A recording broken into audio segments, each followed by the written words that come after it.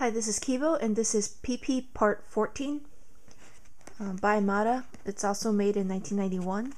I don't know about the reedition since I didn't collect the reedition, um, so I don't know if it exists, but this is the original collection I had. Um, my very first PP um, PP collection when I was a kid.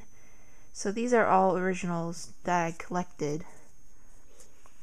So it has 6 prisms and 36 regular cards.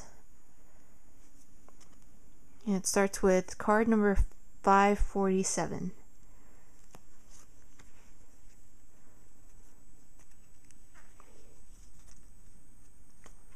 I found these at the department store in Hong Kong um, one Christmas, and I actually spent all my savings for that year just to collect the whole set. Um, they were individually packed in, let's see, two prisms and probably like 10 or 11 cards. So you can't really see what regular cards they had in the pack.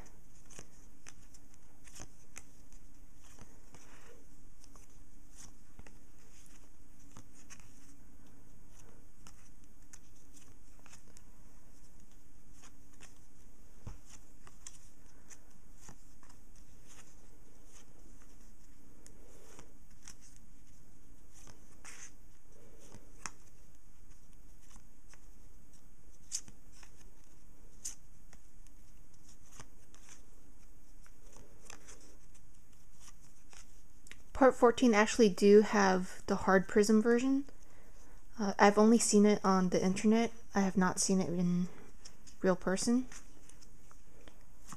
But those are more rare.